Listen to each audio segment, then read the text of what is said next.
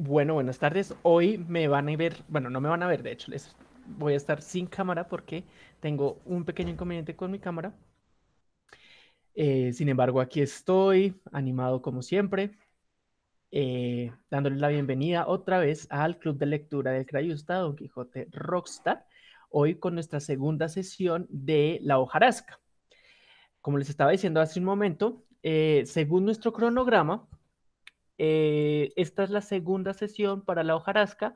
La próxima semana sería la tercera y última sesión de lecturas, digamos, em, del club de lectura y tendríamos una última reunión para el, para el 20 de noviembre en la que tendríamos como la clausura y pues por este año no nos reuniríamos más eh, acá en este espacio. Entonces, pues de nuevo la invitación y lo que les estaba comentando, creo que fue hace ocho días, sobre tener algún tipo de muestra, la que puedan tener, la que ustedes consideren que, sea eh, interesante. Lo que les comentaba, la última sesión, la sesión de la clausura, la idea es que sea de ustedes, ustedes eh, compartiendo entre, entre, entre ustedes, aunque suene redundante, pues no sé, algún tipo de muestra, juego, actividad, eh, pintura, escrito, no sé, lo que quieran, en relación con lo que leímos. O pues si no quieren hacerlo sobre eso, pues nada. Eh, pero sí sería súper chévere eh, que ustedes como que se adueñen de esa última sesión, de ese último espacio. Em, para que lo recuerden, ¿listo? También les recuerdo que la idea pues es que mm, dependiendo, no sé, de, cómo, de, pues, de, la actividad que hayamos tenido a lo largo del semestre, pues eh, pueda yo regalar el libro a, alguno de los participantes. En la sesión, en el primer semestre, el libro lo entregamos aquí en el club de lectura, fue por una actividad, la actividad eh, de cierre en la que todos participaron. Eh, la ganadora fue Daniela Jiménez, que no ha participado ni una sola sesión en este semestre. Eh, esperemos que todas las sesiones y todo este semestre lo haya utilizado para leer el libro que el Club de Lectura le, le, le obsequió espero que no sea un augurio, ¿no? ¿no? sea como tradición que el próximo libro que entreguemos signifique que van a dejar de asistir al club de lectura. Pero bueno, e, eso es otro asunto, ¿no? Recuerden que pues la idea es que para el final de esta, de esta segunda sesión, de esta segunda mm, periodo, este segundo semestre del club de lectura, también tengamos algún obsequio, eh, pues algún libro para eh, alguno de nuestros participantes. ¿Cómo vamos a elegir ese, a ese ganador? No sé, no sé. Mi idea era hacerlo eh, con base en las muestras o las actividades que ustedes hagan. Eh, pero bueno, no sé, realmente pues viendo esta como poca, poca gente conectándose y demás, dudo que ese día vaya a llegar mucha gente a la clausura. Entonces, tendremos que mirar, examinar cómo elegimos quién va a recibir el obsequio del Club de Lectura este semestre. Y bueno, basta de anuncios parroquiales. Mm, ¿Cómo están? ¿Cómo han estado? ¿Qué tal esta semana? ¿Cómo van sus lecturas? ¿Qué tal la lectura de La hojarasca? ¿Cómo van con, con, nuestro premio Nobel, Gabriel García Márquez? Quiero leerlos, quiero escucharlos. Ya estoy aquí como en un soliloquio un buen rato. ¿Qué, qué me cuentan ustedes?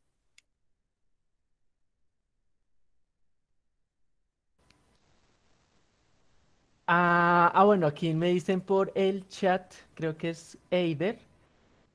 Si anuncio que va, se va a obsequiar algo, llegan como moscas. Pero bueno, pues, eso rompería un poco como el objetivo del club, ¿no? La idea es que vengan a leer, no que vengan a que les regalemos cosas.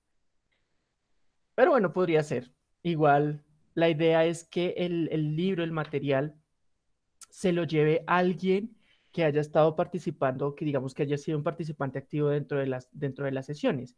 No sería como justo pues que aquí, que por ejemplo están como quienes más se han reunido a menudo, y eso que también digamos falta Cindy, que también ha sido como bien, bien, em, eh, no sé, pila con la asistencia. Sí, digamos, yo pensaría que el libro debería estar a dársele a alguno de los que está aquí conectado y nos falta que pues se anuncie que va a llegar, que se va a entregar algo y se lo lleve a alguien que solamente participa en una sesión. No es justo. Entonces, eh, eso es lo que tendría yo que mirar, como qué, qué criterio tener en cuenta para obsequiar el, el, material, ¿no? Y pues yo creo que va a ser eso, como quienes, quienes han estado así como eh, conectándose todo el tiempo, quienes han estado participando en las sesiones, cositas así, ¿no? Eso yo creo que podría ayudarme a, a definir ahí, como que tener en cuenta eso. Pero bueno, no me, no me, no me cambien el tema, ¿cómo están? Yo qué les cuento. Esta semana entregué un trabajo final. Eh, todavía no tengo nota. No sé qué me vaya a pasar. Espero que me haya ido bien. Um, ¿Qué más les cuento? No he tenido tiempo de leer, he tenido mucho, o sea, pues leer la novela y tengo como mil lecturas atrasadas. Ah, mira, se conectó Aleja. Hola Alejita, ¿cómo estás? Bienvenida.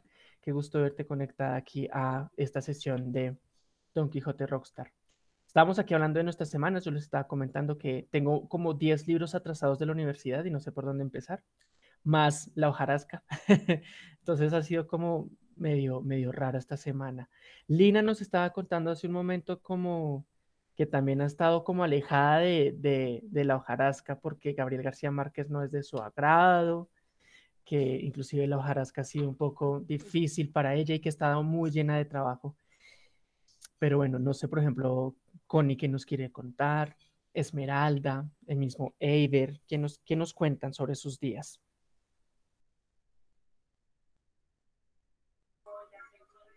Hola, ¿me escuchas? Sí, te escuchamos.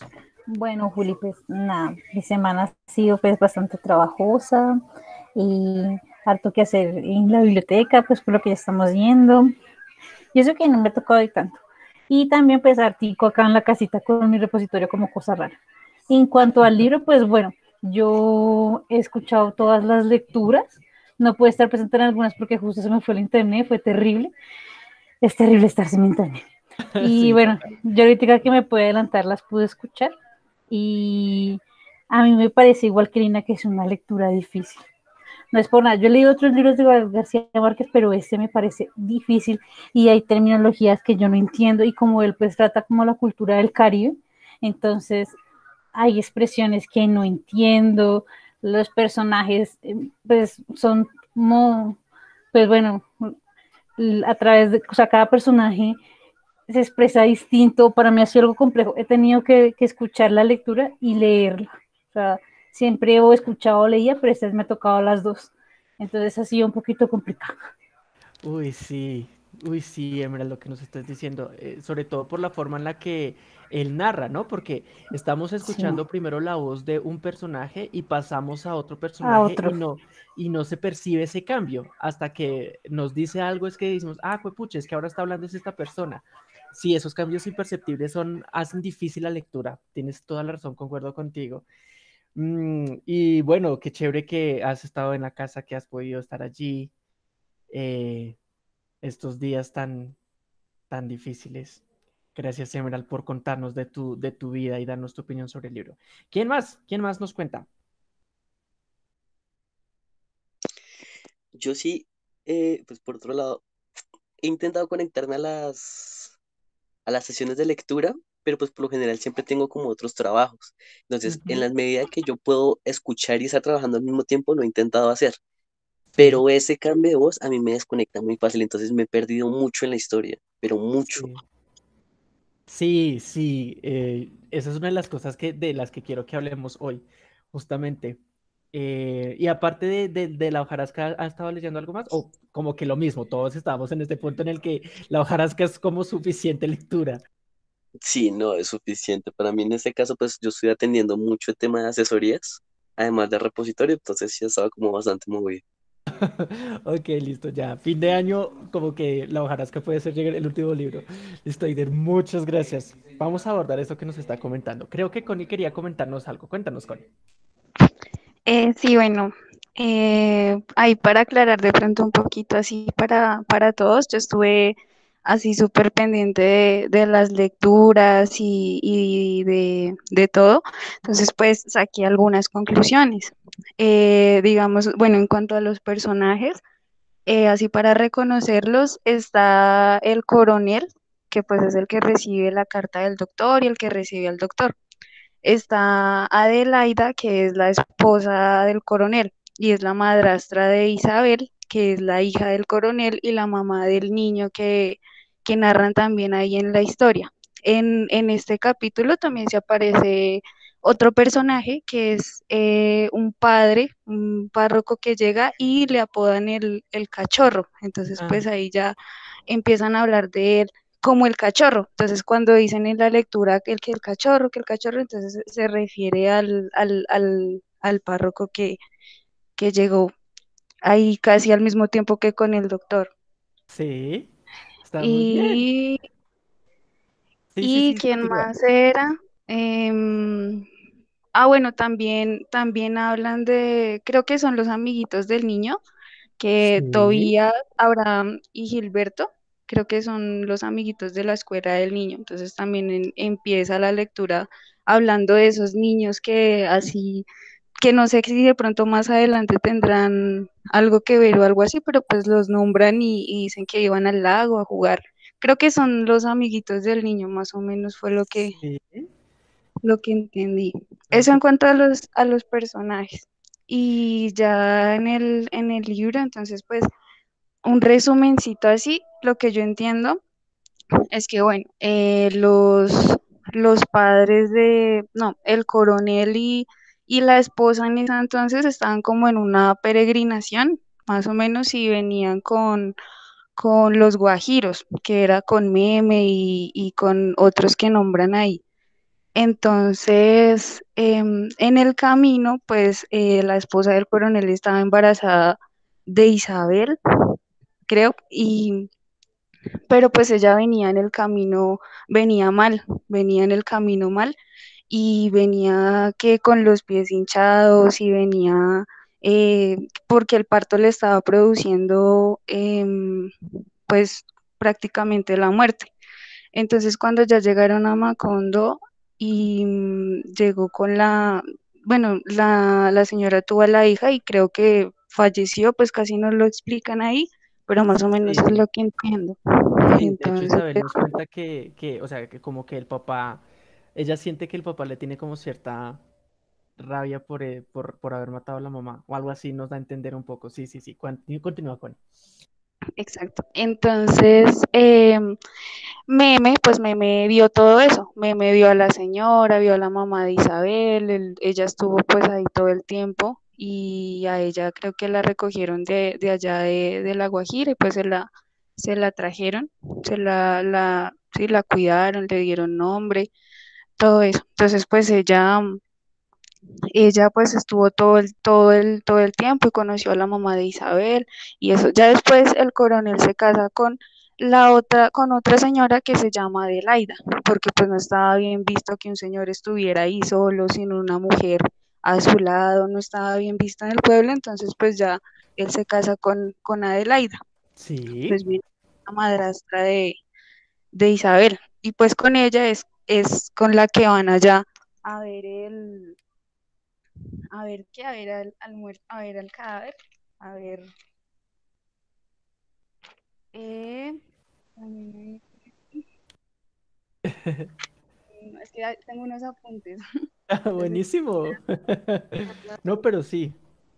ah, bueno, ya, también habla de la parte en cuando llegó el doctor em, a la, a la casa, a la casa del coronel por, por primera vez así, entonces lo anunciaron y Adelaida, que pues es ya la, la esposa del, del coronel, entonces lo confundió con un militar importante. Y entonces eh, al recibirlo llegó y arregló la, la mesa así como para Navidad, arregló todo así súper bonito y sabiendo que nomás era una sola persona la que llegaba, ella puso el servicio para ocho personas y, mm, y también puso un vino y bueno, puso hartas cosas así como atendían para atenderlo. Y cuando ya el señor llegó a comer y eso se sentó y pues era como todo déspota, como todo grosero. Y entonces eh, les pidió fue hierba para de la que le dan a los burros. Dijo así que él quería que le pusieran a, a hervir hierba para, de esa que comen los burros. Sí, y, eso era lo que quería comer y no comió la carne y bueno, todo eso que, que la señora había preparado y eso, no, no quiso comer nada así de eso, sino solo hierba durante ocho años. Solo comía eso. Sí. Solo comía eso. Y yo pensé que el doctor no atendía a nadie, que nunca había atendido a nadie, pero pues no, él llegó y se instaló ahí en la casa y abrió, abrió ahí como, pues como un consultorio y tenía algunos, algunos clientes, pero después con la construcción de un ferrocarril, entonces se, se mejoró mucho la atención médica de las personas que estaban trabajando en el ferrocarril, entonces pues ya todo el mundo empezó a tener ese médico y a cambiar de médico y ya nadie quería pues visitar al doctor. Entonces el doctor pues ya cerró su consultorio y ya no, no que no, no, no atendió pues a nadie más ni nada de eso, sino pues ya que compró una hamaca y, en esa hamaca pues se acostó, se acostó, y pues ya, y pues según, según pues el libro con, con, la, con la cuerda de la hamaca que compró fue con la que se colgó, supuestamente.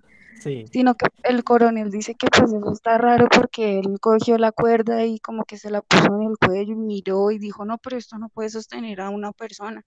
Entonces pues se le hizo raro, pero pues ya no pude, eh, tenía ganas como de sacar el cuerpo del ataúd y colgarlo a ver si efectivamente esa era la cuerda con la que él se había colgado o, o, o que o si era por invento de pronto de... Bueno, ahí hay algo, hay algo porque quien le estaba pidiéndole al coronel probar si, si con esa cuerda la que se había colgado era el alcalde. El alcalde ah, estaba, como de parte del pueblo y no quería dejar enterrar al doctor. Entonces le dice al ah, coronel que, como, para demorar el, como para demorar el, entierro. Exactamente, sí. Y bueno, ¿qué más les cuento? ¿Qué más les cuento? Ah, bueno, lo de Meme que pues una vez me, los estaba atendiendo normal, como siempre, ella era pues la que servía y los atendía, entonces eh, los, estaba ahí y empezó como a, como a temblar, como a sentirse mal y se fue así para la cocina y allá se escuchó como el ruido de la losa y cuando fueron a ver ella estaba así como sosteniéndose de la pared con las uñas y ya casi que no, que no podía así como sostenerse en pie. Entonces se puso súper mal. Y pues ellos nunca habían solicitado el servicio del doctor para, para algo, no, nunca, sino, sino en ese momento sí le solicitaron el que porque no iba a ver a Meme y eso, pero pues él se negó, no quiso ir y pues ahí eh, pues se pusieron muy enojadas, eh, creo que fue Adelaida la que se puso enojada porque pues él había durado ahí ocho años y era, decía que era como si hubieran preparado ropa, la mejor ropa, la mejor comida y se la hubieran tirado a los cerdos y la, la, sí, la hubieran tirado porque no, no sirvió para nada todos esos años y todo lo que lo cuidaron y lo mantuvieron sin él hacer nada, sin pagar nada, sin dar un peso, sin aportar nada.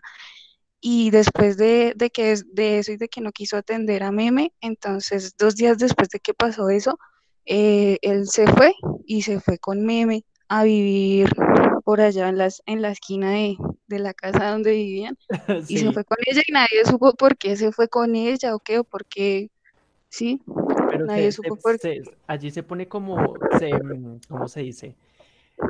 Se sugiere algo, ¿no? Existe como esta, esta em, posibilidad de que Meme estuviera embarazada de él y por eso se fueron los dos. Pero pues nunca nos lo dicen así como de forma textual. Nunca lo solo dicen. dice como que se sintió mal y que se fueron. Entonces, quién sabe. Sí, sí, por ahí vamos, más o menos, ¿no? Ahí, más o menos vamos en, la reconstrucción de toda esta escena. Con hizo un excelente trabajo, yo creo que lo contó eh, súper bien. De, hecho, yo aquí escuchándola me acordaba de cosas. Está súper bueno. No sé qué más quieres contarnos. Mm, eh, no, también hablaban ahí algo del becerro de oro, pero no entendí muy bien, porque lo que yo, lo que yo entiendo de lo que yo sé del becerro de oro es que cuando Moisés subió al, al, monte Sinaí, entonces la gente se, se olvidó de Dios y necesitaba como creer en algo y hizo un becerro. Pero no sé si eso tendrá algo que ver con la historia. No entendí ahí. El becerro de oro, mira que... Sí, habla ahí en eso. Mis padres subían de los azares y de la guerra y buscaban un recodo próspero y tranquilo donde sentar sus reales y oyeron hablar del becerro de oro. Ah, ah, pues debe ser como de la historia de cuando llegaron a Macondo, ¿no? Como este, este lugar era como un lugar paradisiaco, lleno de, de prosperidad, donde ahí decían una, una, una, una, parte en la que un hombre que llegaba, si, no, si nos llegaba como con una mujer embarazada y con un, y con un baúl a las dos semanas tenía tierras y tenía concubinas. Es como esta analogía de el becerro de oro donde todo es posible. Prácticamente también puede ser lo que tú estás diciendo de alguna forma, donde digamos no existe ni ley ni Dios y cualquier persona puede resultar próspera de la noche a la mañana. También otra ideita que se me había olvidado es que en esta parte también hablan de otro, de otra persona y es Martín, que es el prometido de Isabel, la hija del coronel. Entonces ahí ya empiezan a hablar de, de, él, de que él conoció a Isabel y que él se va a casar con ella. Y creo que no sé si se casaron, ahí no dice, pero pues se supone que él tuvo al, al hijo con ella y ella prometió cuidar al niño y él se fue y ya han pasado nueve años y no se ha sabido nada de Martín. Esa es otra cuestión ahí. Es, es, que es una de las cosas que tiene la novela y es que tiene muchas historias y eso también puede resultar confuso porque son muchas historias. Digamos que se utiliza la, la historia de la, del suicidio del doctor para contarnos muchas cosas. Y es que esa es una de las cosas que también tiene la hojarasca. Son muchas, muchas, muchas, muchas historias. Está la historia del coronel, está la misma historia del doctor, está la historia de Meme, está la historia del niño, que no sabemos cómo se llama todavía. Este niño por allí nos enteramos que parece que le gusta a uno de sus amigos. Em, está la historia de, la ah, mamá, que sí sabe. Sí, ¿no? Hay una parte de eso, ¿no? Al, al niño, sí. Ah, bueno, yo pensé que pronto había pensado mal pero entonces sí, ahí dice que el niño se fue a jugar con sus amiguitos al, al, al lago al, y que entonces él quería estar era con Abraham, que porque cuando pasaban por un callejón verde, entonces que él le rozaba el muslo y que sentía cosquillas, algo así. Sí, Sí, no, eso no, no lo dan, así como esa es una de las cuestiones que tiene también García Márquez en esta novela y es que insinúa cosas o dice cosas sin que nos demos cuenta. Uno tiene que estar muy atento para no perderse de estos detallitos, ¿no? Por ejemplo, esto, ¿qué le pasó a Meme y por qué se terminaron yendo juntos? Ah, bueno, uno tiene que leer entre líneas. Eh, también está el, niño con su amigo Abraham, que parece que hay como eh, cierta atracción o eso es lo que nos propone en esa lectura. Eh, no, son muchas cosas. Dale, dale. Yo la, verdad creí que era algo perverso de mi parte pensar, interpretarlo de esa manera. Por ejemplo, cuando decía que, que le gustaba cómo se veía su piel de plata con el agua, yo decía, ¿será que yo estoy imaginando bien o, o no? Sí, entonces sí es verdad, bueno, todos concordamos en algo. sí, sí, eso es una de las cosas, digamos, más interesantes, ¿no? Porque uno no esperaría encontrar este tipo, digamos, de inserción de estas mini, mini historias allí, ¿no? Parece que la historia es bien clara. Es eh, la muerte del doctor y vamos a enterarnos qué hay detrás. Pero detrás de esa historia hay muchas historias. Está la historia misma de Macondo, está la historia del coronel, está la historia del niño, está la historia de Isabel, que parece que son ellos tres como los principales, pero después nos empezamos a ver que también está la historia de Martín, está la historia de Meme, la Guajira, y tiene esto un montón de implicaciones que parece que fuera una bola de nieve que va creciendo y va creciendo y va creciendo. llega un punto en el que uno eh, no sabe qué está ocurriendo, en especial por la forma en la que, en la que se está contando la historia. Y es que eh, Gao hizo algo, digamos, impresionante. Si, digamos, una de las cosas que nosotros más resaltábamos y de las que más conversamos con Recuerdas Juana fue del narrador, aquí tenemos que hablar es del tiempo. García Márquez aquí, digamos, cogió y manejó el, el tiempo de una forma tal que hizo una telaraña. Y el tiempo es una cosa súper compleja. Y el tiempo entonces no está en la acción misma, sino está en los personajes. Los personajes son los que van como hilando el tiempo. Eh, el tiempo de lo que está pasando en el momento, el tiempo en la habitación, el tiempo pasado, el tiempo de la mente, el tiempo mismo de Macondo. Y todos estos tiempos están conviviendo allí, todos estos tiempos están ocurriendo de forma simultánea. Y nosotros como lectores tenemos que estar muy atentos para, digamos, notar esos cambios en el tiempo. ¿No? Eso es una de las cosas más interesantes. Y justamente sobre eso es de lo que yo quiero que hablemos el día de hoy. Creo que ustedes están viendo, ah, no me ha fijado dónde estaba la presentación, qué pena con ustedes. Lo que quería que habláramos es justamente sobre las voces de los narradores. Estos narradores, que son tres de forma específica, y dentro de estas voces de los narradores se nos, se nos cuenta que otras personas hablaron, ¿no? Cuando Isabel está recordando la conversación con Adelaida, escuchamos la voz de Adelaida.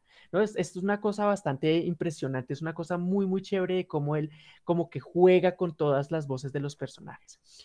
Y para hablar de las voces de los narradores y cómo ellos reconstruyen la acción, les traigo yo este pequeño video que me parece que ilustra muy bien lo que Gabriel García Márquez hizo. Esto de pronto es un ejemplo que tenemos a la mano y de pronto nos ayuda a ver cómo está funcionando de alguna forma eh, lo que Gabriel García Márquez en esto. Entonces vamos a ver aquí un minutico de este episodio de Los Simpson que se llama La trilogía del error.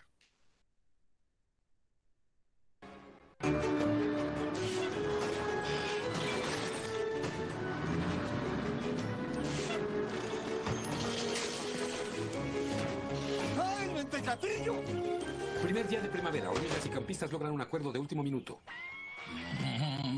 En la granja hay una niña linda llamada Liru.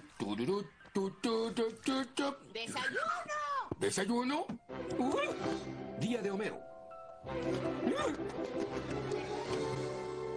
¡Ay, cereal! ¿Sabes que me gusta el desayuno frito o pollo frito? Es un cereal sano europeo.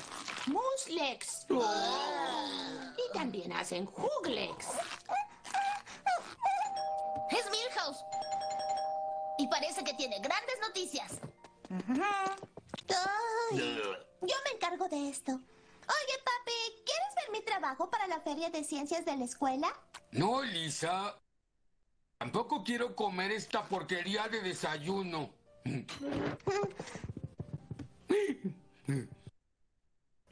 Bueno, esto es lo que les comentaba. Un minutico de eh, este episodio que yo creo que todos conocemos.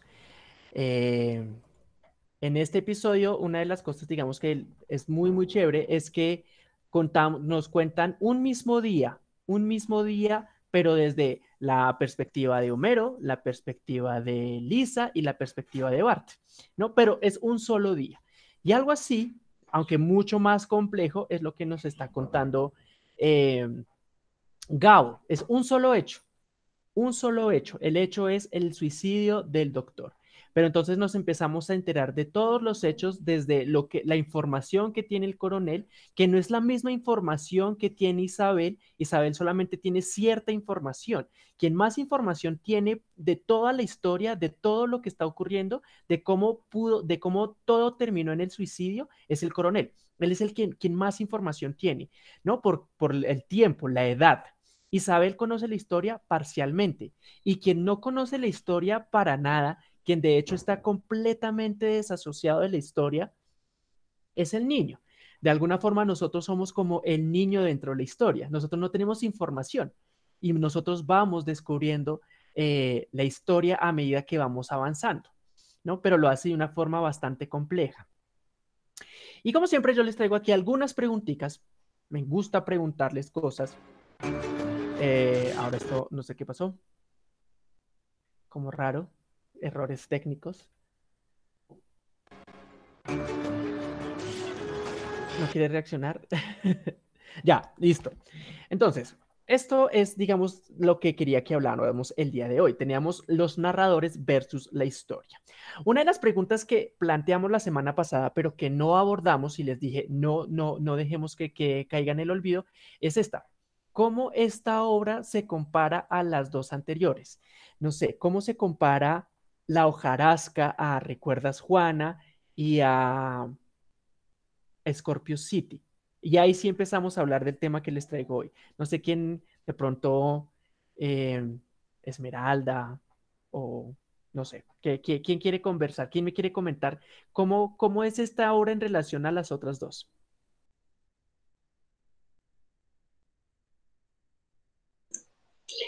Pues yo tengo una observación, es que pues en esta, yo creo que es una perspectiva muy, muy, muy interiorizada de cada uno de los, de los personajes y habla mucho sobre las relaciones humanas. Sí, pero, no de la misma forma que hablábamos anteriormente, sino no, no sabría decir cómo exactamente, pero sí es muy diferente. Sí, sí, sí, sí. Toca un punto que, del que quiero que conversemos a continuación, pero sí, por ahí, por ahí es una del, bueno, comparto la opinión con eso, no sé. Ay, qué pena que dijeron, es que me, se me desconectó la llamada. No te preocupes, Connie. Estaba yo preguntándoles aquí a, a los compañeros como qué opinión, o sea, cómo se compara esta obra en relación a las dos anteriores que leímos. Camilo nos estaba comentando que esta obra aborda muchísimo como las relaciones humanas y lo hace de una forma diferente a como lo hace Scorpio City o como lo hace Recuerdas Juana. Eso es, prácticamente lo que vimos, o sea, no te perdiste de, más eh, en, aquí en las intervenciones. Estaba diciendo que yo también creo que es lo mismo y que es una de las cosas que quiero que hablemos el día de hoy. Eh, no sé, ¿qué nos, qué nos quieres decir? De pronto, em, Esmeralda, ¿tú qué, no, ¿tú qué opinas al respecto?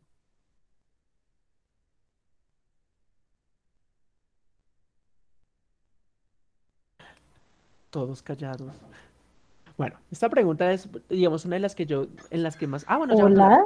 Ay, ya, no, qué pena, es que me quedé pensando porque la verdad no sé qué decir, a mí me parece que es demasiado distinta la forma en cómo el autor escribe, que son varios personajes, en que, por ejemplo, bueno, en Recuerdas Juana y mm, en Mario Mendoza veíamos varias historias, pero, pero casi siempre solamente de una persona. Entonces, pues acá por eso me parece un poquito más, más complejo. Eso sería la diferencia. Sí, O sea, bueno, sí, la compararía de esta manera. Sí, es cierto, ¿no? Parece que, que se esfuerza por ser difícil. Es como si entre más atrás viajamos en la, en la escritura, más, más complicada se va haciendo la cosa. Con Mario Mendoza era súper fácil entender qué estaba pasando, que, cuáles eran los personajes, cuál era la acción. Viajamos un poco más atrás a Elena Iriarte y recuerdas Juana, y ya la cosa se hizo un poco más compleja, el vocabulario, las imágenes. Y llegamos a Gabriel García Márquez y como que todo se fue para Macondo, ¿no? La cosa se hizo mucho más, más difícil de entender. Sí, sí, Sí. ajá. Sí, ese, ese comentario tuyo me parece súper. No, pues ya no, eso, eso, eso era todo, digamos, eh, lo que tú dices del lenguaje, uy, acá sí es distinto. Y, y es como, o sea, es como si uno también se enriqueciera con eso, entonces le toca a uno como estar pilas. A mí me tocaba volver a, le- a releer, entonces, pues eso, en cambio en el otro, no sé por qué sí eh, me llevaba más a la empatía, en cambio acá no, acá me intriga Wow. pero en las otras historias era más lo que sentían las personas, entonces yo me ponía en el lugar de ellos. Eso también es un punto de comparación. Me encanta lo que acabas de decir, porque es otro de los aspectos, ya con lo que dices y lo que dijo Eider, llegaron a dos puntos que quería como que también mencionar. Y es el tema de la empatía. Con Mario Mendoza podíamos sentir o bien antipatía por el personaje o bien empatía por lo que estaba pasando. Con Recuerdas Juana podríamos identificarnos muy bien con el mundo de los adultos, con el mundo de los niños, ¿no? Podríamos generar estos nexos. Pero con esta novela, no sé, yo digamos voy a compartir aquí mi opinión con lo que nos está comentando Esmeralda. Generar esa empatía es muy difícil. Es muy difícil empatizar con el coronel o empatizar con el niño o inclusive con la misma Isabel, ¿no? Generar esa como esa conexión con los personajes no es tan sencillo. ¿No? O al menos en mi caso me ha ocurrido, así como nos está comentando Esmeralda. No he podido generar como ese vínculo con los personajes ni con lo que me están contando. Está como esta, esta barrera que no me ha permitido acceder a cómo ellos sienten y cómo ellos ven el mundo. Y no sé, pero de pronto también les está ocurriendo a ustedes. O, alguien aquí dice, no, yo sí me he sentido muy identificado o identificada con Isabel o con el niño o con el coronel, no sé. Parece ser que no, es- en realidad ha sido muy, muy complicado. Ah, bueno, tú vas a hablar, dale, Emerald.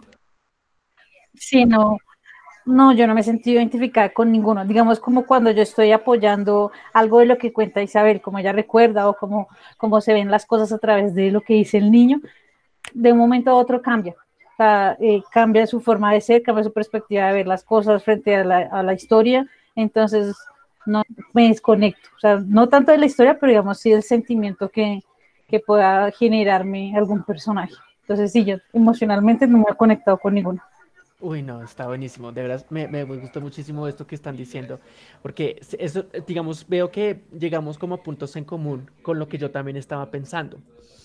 Listo, ahora volvamos a la segunda voz, a la segunda pregunta. Bueno, de hecho son como las siguientes cuatro preguntas, todas giran alrededor de lo mismo y ya hemos hablado de esto, pero vamos a detenernos un poco en esto. ¿Cómo es la voz del coronel? ¿Por qué es importante la voz de Isabel y por qué se nos presenta la voz del niño? Preguntas que yo, a medida que voy leyendo, me voy preguntando. ¿No? La voz del coronel, ¿cómo es en relación como con las otras voces? Otra pregunta que yo me hice es esta, ¿no? ¿Por qué es importante la voz de Isabel? ¿Por qué es importante que, nos enteremos de lo que Isabel sabe? ¿Por qué? qué? ¿Qué le está aportando la historia? ¿Qué nos está diciendo? Y en último, ¿para qué se nos presenta la voz del niño? Si el niño no, no está muy relacionado con, con lo que está pasando, si no está relacionado con la historia del coronel, ¿no? De pronto ni siquiera conozca la historia de su mamá con su papá, mucho menos de la historia de cómo llegó el coronel, de cómo llegó Meme, todo lo que nos contó Connie de la historia de Macondo. Si el niño no sabe nada de esto, ¿por qué lo incluye? ¿Sí? Vamos a asumir que eh, Gabriel García Márquez incluyó todas estas voces con un fin específico, pero nosotros tendremos que preguntarnos acá, bueno, yo entiendo por qué incluyó la voz del coronel, es que nos puede contar todo, pero entonces, ¿por qué nos incluye la voz de Isabel? Porque es importante que nosotros conozcamos esta historia a, través de la voz de Isabel. Si también podría contárnoslas el coronel. Y aún más importante esta pregunta que yo quiero que también se hagan ustedes, inclusive si no la podemos responder en, esta noche, es ¿por qué se incluye la voz del niño?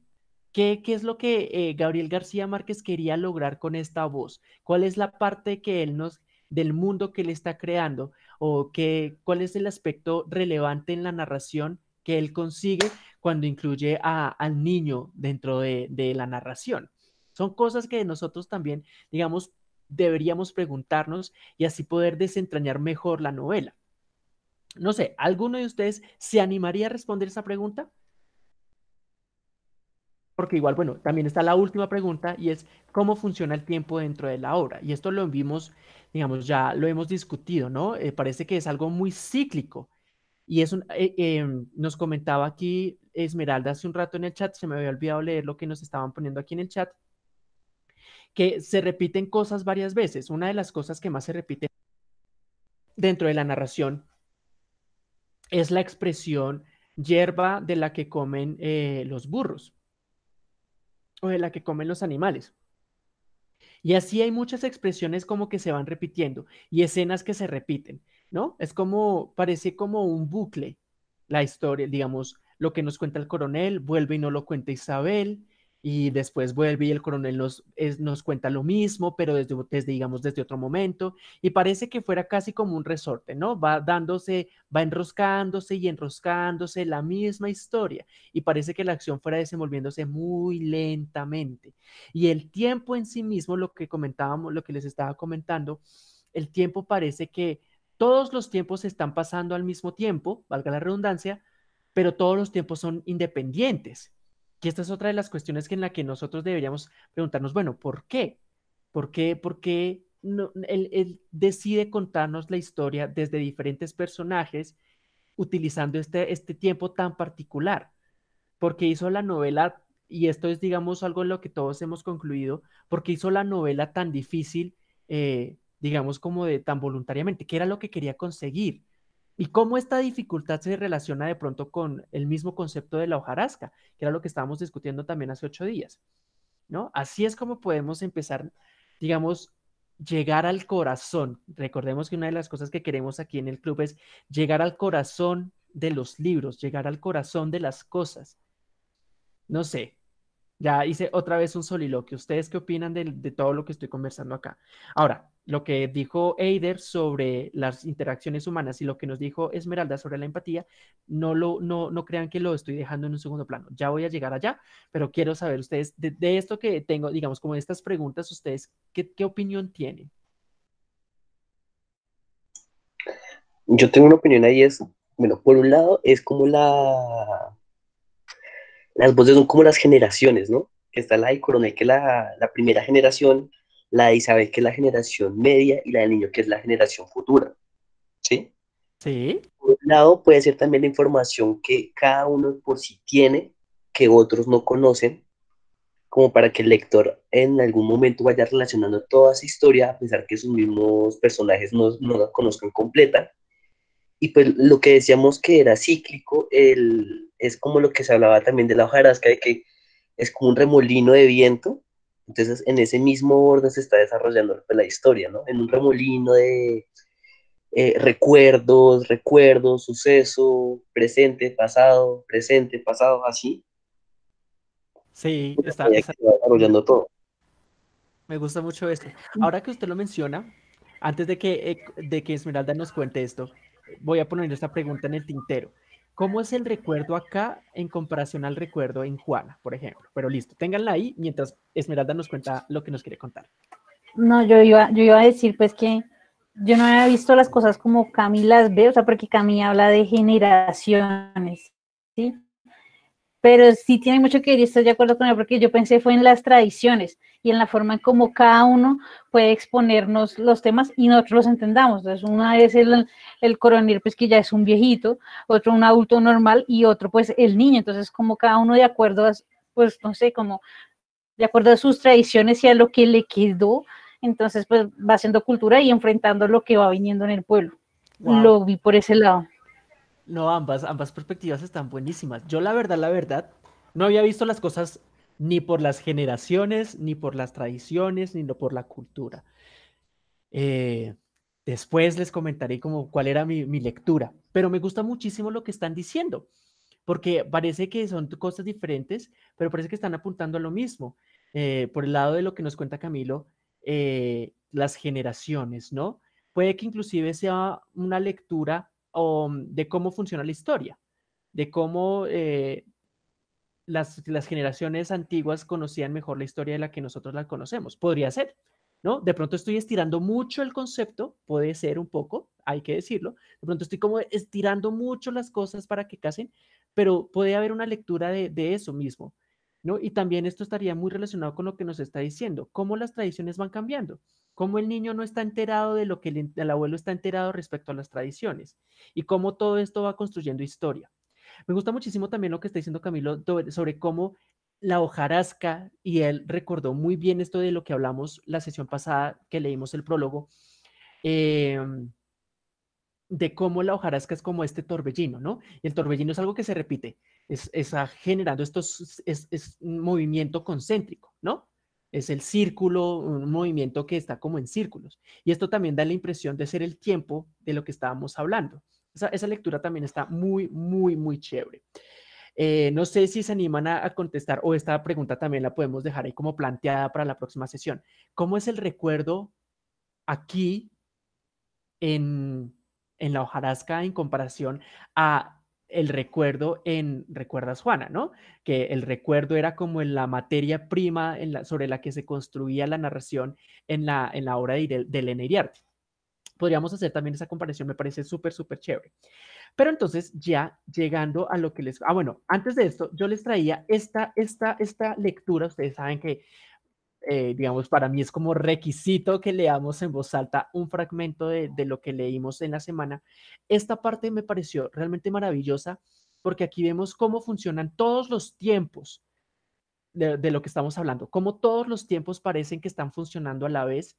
Y acá, una es, este es uno de los episodios que mejor trabaja Gabriel García Márquez en esta novela eh, sobre el uso del tiempo y, y quiero compartirlo con ustedes. El niño lo mira, piensa en el arcado que está puesto de largo debajo de las tablas, hace un ademán triste y entonces todo se transforma.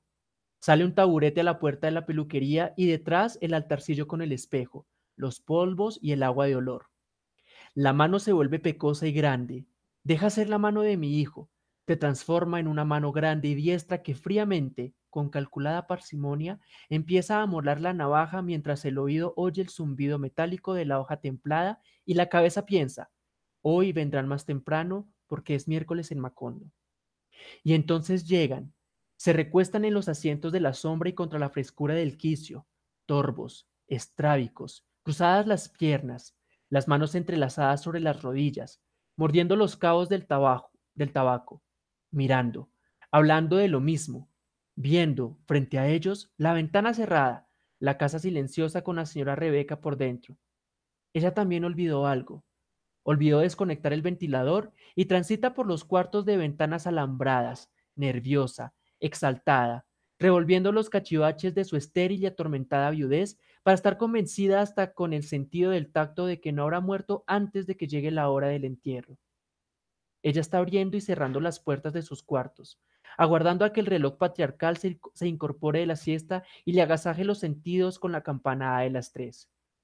Todo esto mientras concluye la demanda del niño y vuelve a ponerse duro, recto, sin demorar siquiera la mitad del tiempo que una mujer necesita para la última puntada de la máquina y levantar la cabeza llena de rizadores. Antes de que el niño vuelva a quedarse recto, pensativo, la mujer ha rodado la máquina hasta el ángulo del corredor y los hombres han mordido dos veces los tabacos, mientras observan una ida y vuelta completa de la navaja en la penca. Y Águeda, la tullida, hace un último esfuerzo por, por despegar las muertas rodillas, y la señora Rebeca da una nueva vuelta en la cerradura y piensa, miércoles en Macondo, buen día para enterrar al diablo.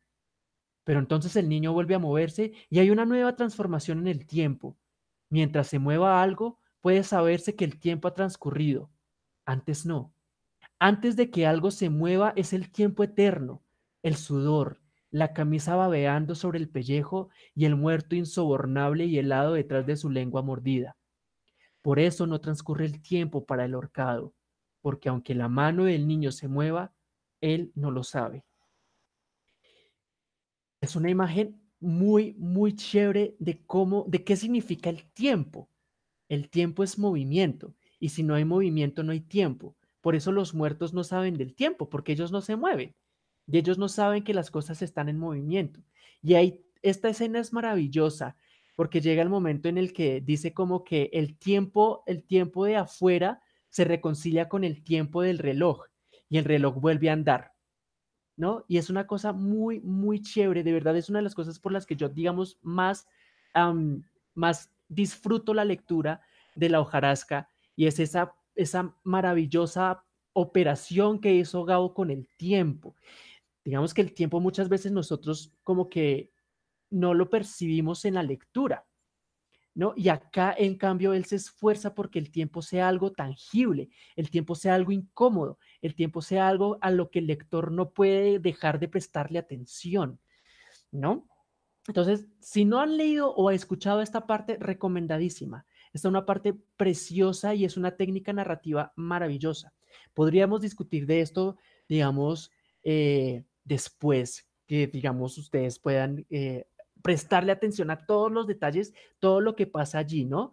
El, como si el, el pueblo estuviera quieto y solamente se mueve cuando el niño se mueve. Y es, esto es una escena maravillosa. Lo que quería llegar era esto justamente. La sociedad versus el individuo.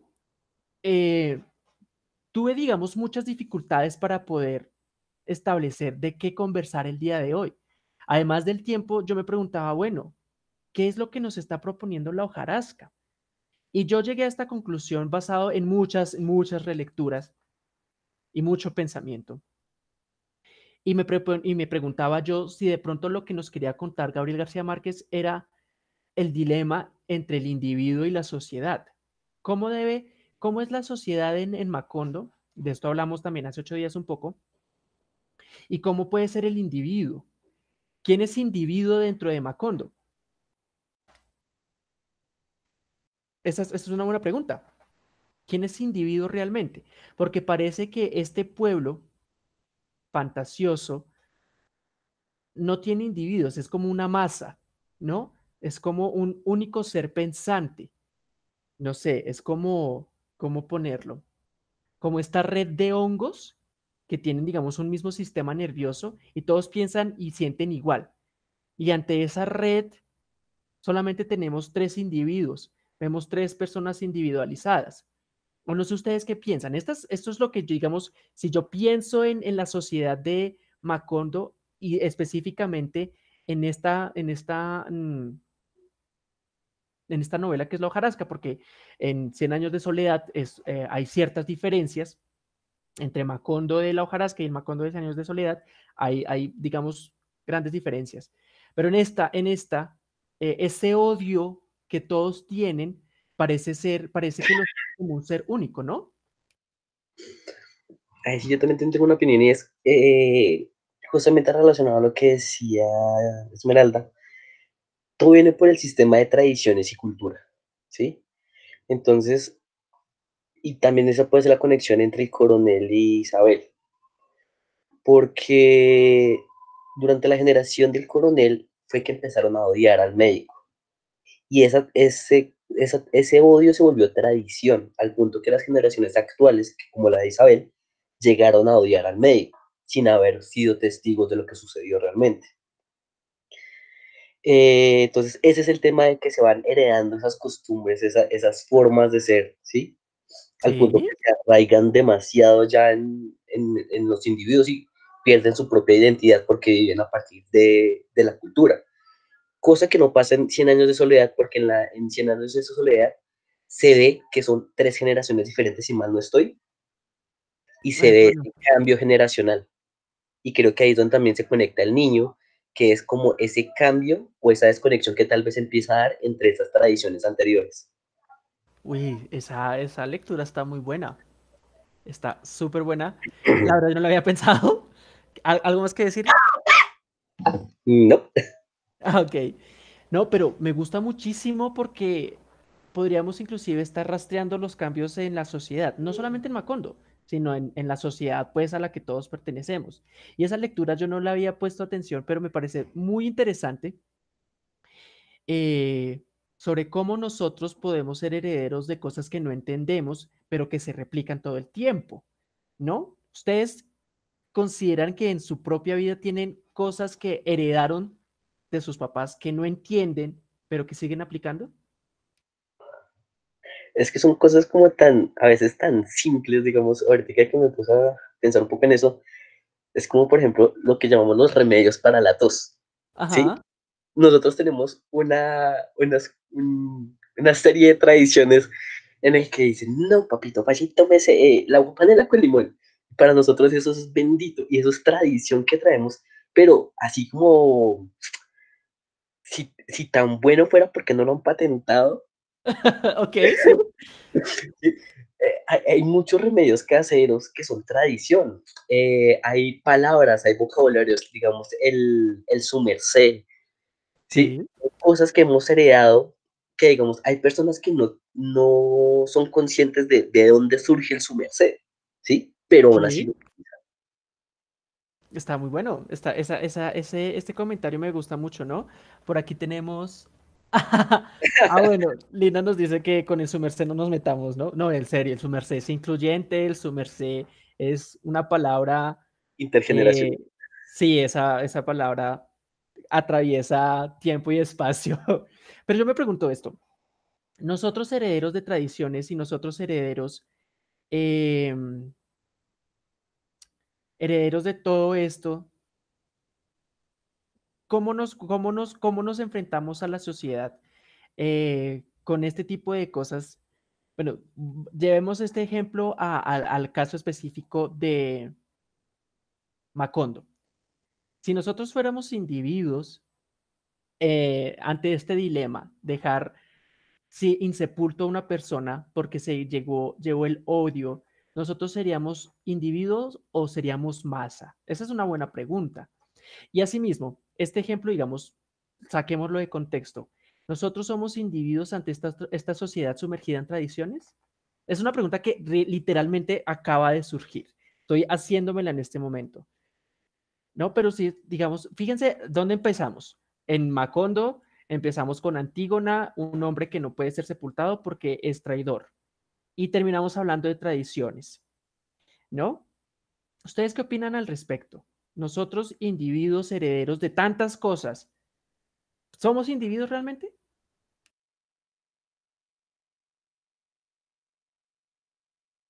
Yo creo que en parte, o sea, sí hay muchas cosas que hemos heredado, pero hay muchas cosas con las que hemos, eh, con, la, con las que hemos roto y las estamos rompiendo apenas. Digamos que Una primera fase para eso es concientizarnos de ciertas actitudes, ciertas cosas, ¿sí? Digamos, pues no lo quería traer a colación, pero sí un poco el tema de política, ¿sí?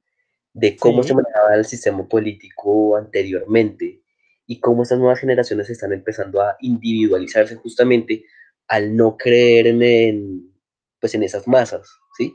Al buscar, digamos, ciertas opiniones eh, ya un poco más formadas o diferentes, pero vemos que ya no hay una única opinión o un único modelo, sino que se empiezan a, a generar nuevos. Si bien no es un modelo o una sola tradición o un solo pensamiento de un individuo, sino de un colectivo, ¿sí? El hecho de que ya hayan eh, múltiples hace que se rompa de- literalmente con esa tradición. ¿Se van a generar nuevas tradiciones? Tal vez, pero digamos que estamos generando un cambio y eso es parte del tema de las generaciones. Por eso hablamos del tema de la generación de los boomers, de los millennials, de la generación Y, ¿sí? Cada generación es eh, el resultado de los acontecimientos que se viven dentro de su, de su tiempo. Pero además de eso, de los acontecimientos, es de aquellas cosas de las que se rodea o de lo que lo afecta.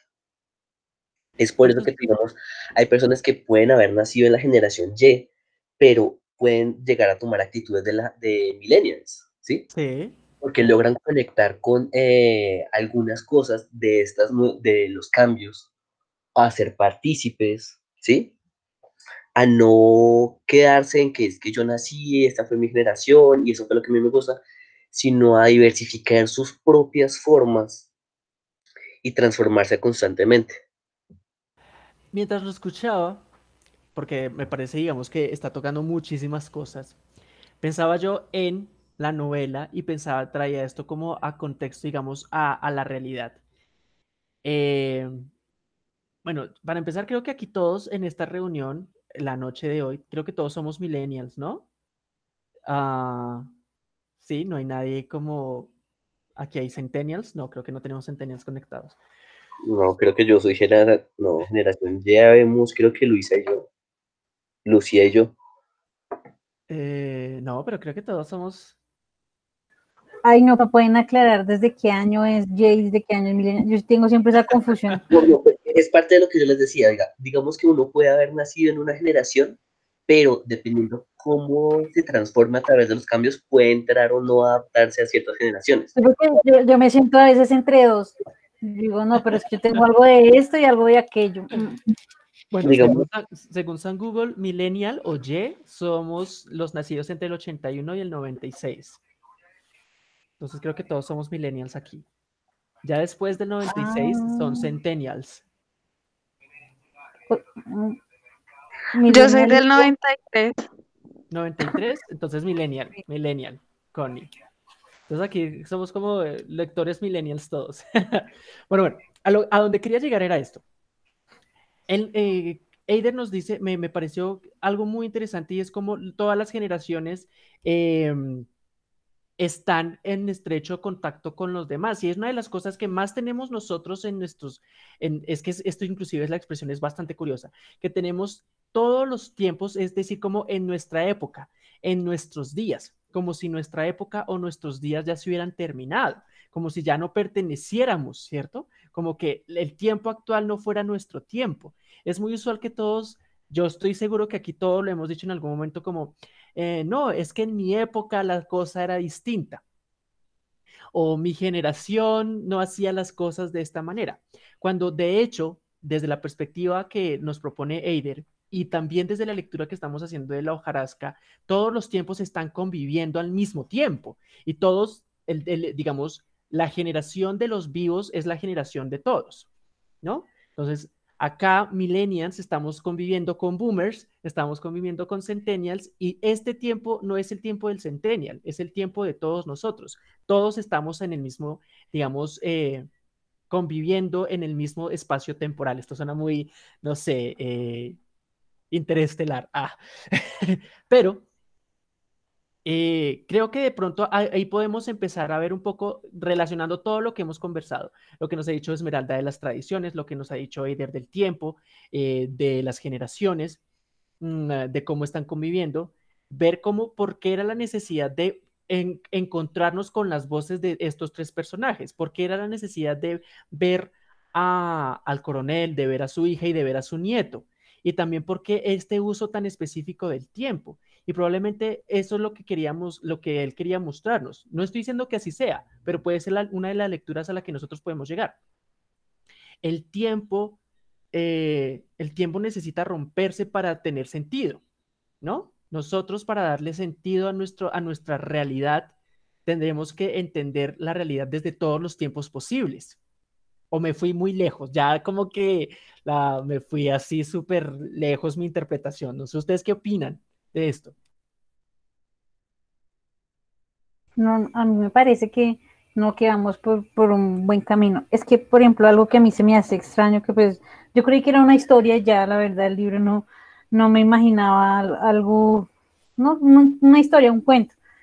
Y, y, resulta que a mí se me hace curioso que es un libro tan, tan antiguo, porque es que es viejito cuando el Señor lo escribió, y que se pueda aplicar ahorita, ¿sí? Como el Señor escribe de una manera en la que me explica las tradiciones y, me muestra cómo el simple odio hacia una persona se transmite de generación y cada generación lo ve de una manera diferente y eso mismo pasa ahorita, ¿sí?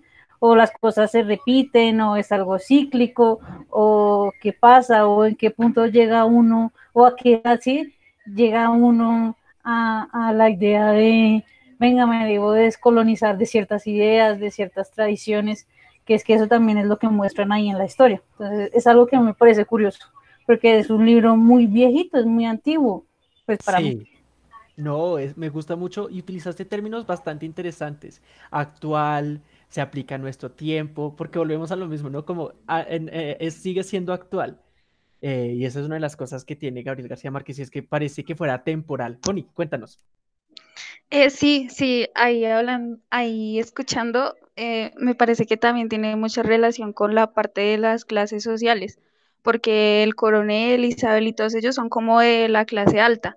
Incluso Adelaida se refiere a la gente de Macondo como, como, como doña Florinda dice, ay, no te juntes con esta chusma, ella es como, ay, no se junte con esa hojarasca, se refiere así como a la, como a la gente, como al resto de gente, como que solamente ellos, porque se supuestamente son ellos como los de, también están esas costumbres, porque Isabel pues es, es en la lectura yo entiendo que ella como que la, como que el, el compromiso con Martín es como obligado, entonces en, en esos tiempos pues sí, eh, los casaban con, con, con cualquier persona y a Meme también pues se la entregaron a este señor que como llegó con la recomendación del super coronel, entonces eh, a él sí lo entierran, a él sí, pero de pronto eh, Polinice no era de, de, clase alta y de pronto por eso sí lo dejaron ahí, pero entonces sí, como ya este señor se habla con, con, las clases altas y eso, entonces de pronto a él sí,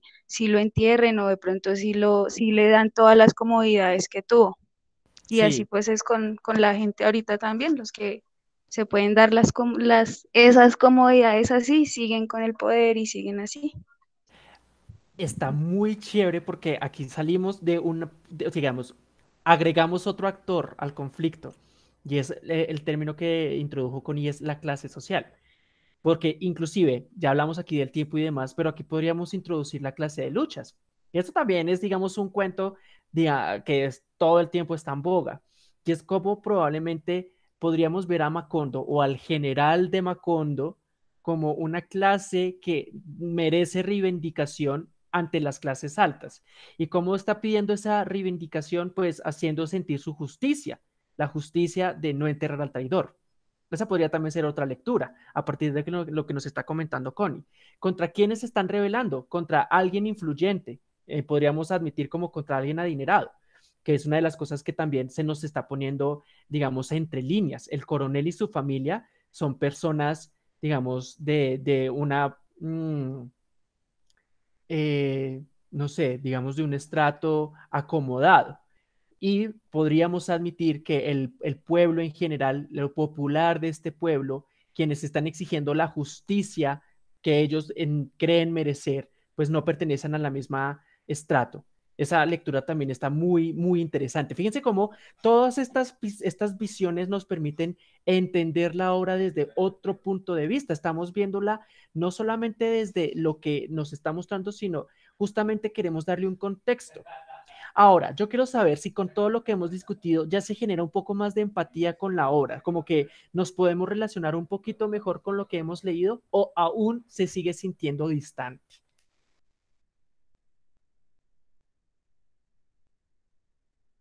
Pues es que se puede decir que en, cuanto a lo emocional, que fueron las fibras que nos tocaron los otros libros, fue muy emocional.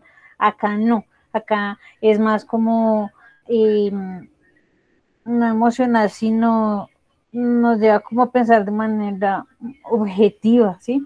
Como hacernos preguntas, como a mirar lo que decía, pues lo que hablan de las clases sociales, lo que hablan de las tradiciones, entonces es, más reflexivo hacia el objetivo que emocional, pues creo yo.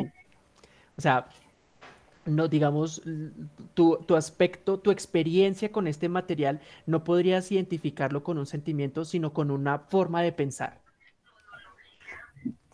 Sí, sí, pues digamos, mm, no como una forma eh, de pensar en específico, no, sino como algo que me lleva a mirar de manera objetiva las cosas. Entonces me pone a pensar, por ejemplo, digamos, en el fastidio que siente uno por cosas, en la gente chismosa, en todo ese tipo de cosas, como esos conflictos de convivencia humana. Eso que no pasa en lo otro, ¿sí? Entonces lo que te digo, a mí acá no es tanto emocional, sino es más de objetividad. Está súper chévere, me gusta mucho, porque yo sospecho que allí en esto que tú comentas también hay una sensación. No puede que no sea el mismo sentimiento y la misma sensación que vimos, por ejemplo, en Recuerdas Juana. Recuerdas Juana era un libro íntimo, Recuerdas, Juana era un libro personal, era un libro en el que era inevitable no sentir empatía. Pero probablemente lo que queremos, lo que él quería, Gabriel, eh, Gabriel García Márquez en este libro, no era generar ese tipo de sentimiento. Probablemente lo que él quería despertar era fastidio. y probablemente esto que tú me comentas, sobre todo, esa, eh, la forma en lo que lo dices, sobre todo, por eso lo digo, eh, esa, ese, esa, esa, ese tono en el que dices como la gente chismosa. Entonces es como que también estás poniendo en perspectiva tu propia realidad a partir de esto, cómo, cómo funciona a tu alrededor. Y es una de las cosas que creo que los dos han mencionado, Eider, es como las relaciones sociales, cómo nosotros ponemos en perspectiva nuestras propias relaciones sociales a partir de lo que estamos leyendo. Es ese fastidio que podemos llegar a sentir por ese aspecto. Dale, Connie. No, que es que me acordé que ahí en Macondo sí eran bien chismosos porque también estaba, estaba, bueno, la, la, la hija del peluquero y ese chisme pues estaba como por todo el, el lugar que pues que ella pues que había un espíritu maligno que la poseía y que le pegaba y que eh, hacía que los vidrios de, que los espejos de la peluquería se, se pusieran se rompieran, creo. Se rompieran. Sí, entonces que después la mamá la encerró y que hizo que tuviera una luna de miel con el, con el muerto. Y bueno, así sí, sí, habían hartas, hartas, hartas cosas y estaban muy pendientes de, la gente que, llegaba, como el padre, que el padre llegó eh, con el pelo blanco y, y con, la, con la sotana así como como también trajinada y así, entonces estaban muy pendientes como de, como de todo, a ver de qué podían hablar. Sí, yo creo que ahorita escuchando lo que poniendo en, en, en, digamos, en la misma, en la misma, en el mismo nivel, en la misma línea, lo que nos dice Esmeralda y lo que nos dice Connie. Eh, sobre los chismes, porque es una de las cosas, digamos, más interesantes que salió a, la, colación, aunque no, la verdad no lo tenía previsto. Eh, pienso en esto como un, creo que fue Connie quien nos comentó esta frase la sesión pasada, es como pueblo pequeño, infierno grande.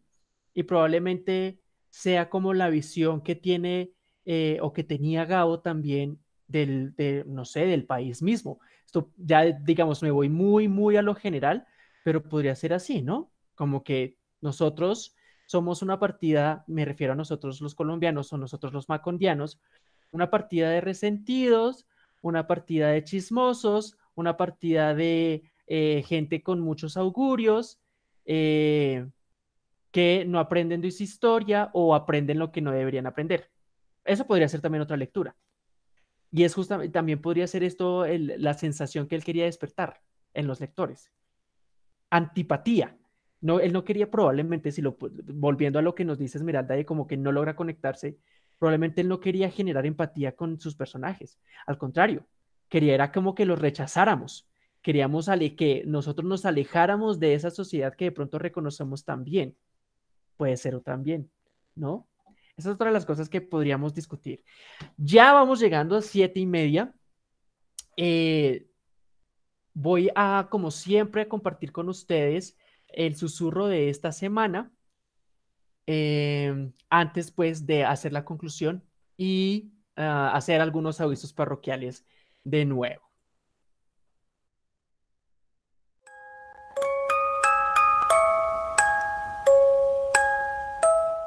Lecturas para susurrar al oído. El armario, por Avidonco. Mientras arropaba a mi sobrino, él me dijo, Tata, ¿hay alguien en el armario? Yo le contesté, no hay nadie. Pero por su seguridad miré. Encontré entre su ropa a mi sobrino tembloroso. Miré hacia atrás y fue cuando vi su sonrisa. De lectura del Crayusta Don Quijote Rockstar, todos los viernes.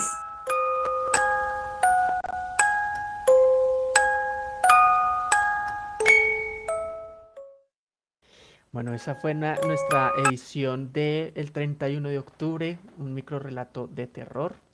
No, qué miedo. Yo soy muy asustadiza. Creo que es algo que tienes en común con Lina. Ella tampoco disfruta mucho de, del terror. Bueno, entonces, como les comentaba, ya la próxima semana tenemos la última lectura o la, última sesión sobre la hojarasca. Para el lunes voy a compartir el, el, horario para nuestra sesión de lectura en voz alta. Yo creo que va a ser de nuevo el miércoles a las 6 de la tarde, 6 o 7 de la tarde para que todos nos podamos conectar. Nos quedan 28 páginas. Em, entonces, por bienestar de mi garganta, creo que les voy a, solicitar que leamos un par de capítulos nosotros individualmente y ya la lectura en voz alta que sea de los últimos dos o tres capítulos, ¿vale? Para que no nos tome tanto tiempo la lectura compartida. Igual esto pues lo podemos discutir en el WhatsApp del club de lectura. Mm, una vez más, la, última sesión, la idea es que sea de ustedes, sean ustedes compartiéndonos lo que quieran compartirnos, un juego, un texto, un dibujo, eh, no sé, un video, lo que quieran compartirnos, sería súper, súper chévere para que mm, hagamos la, la, la clausura de este semestre con el club de lectura. No me queda más que ah, darles las gracias por haberse conectado una vez más recordarles que nos sigan en redes sociales, arroba Crayusta Bogotá, Facebook, Twitter, Instagram y YouTube. Y nada, nos vemos dentro de ocho días. Chao a todos.